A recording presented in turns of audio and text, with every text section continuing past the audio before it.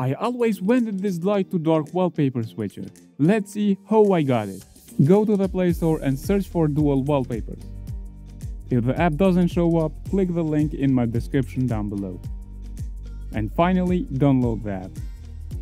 In order to make this work, you have to find a light wallpaper and a dark wallpaper.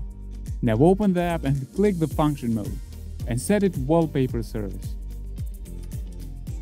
And next set the light wallpaper on lock screen and home screen. Do the same with the dark wallpaper as well. And now, when your device switches to dark mode or light mode, the wallpaper will change by itself. You can get those two wallpapers from my Discord server. Should I create more light dark wallpapers?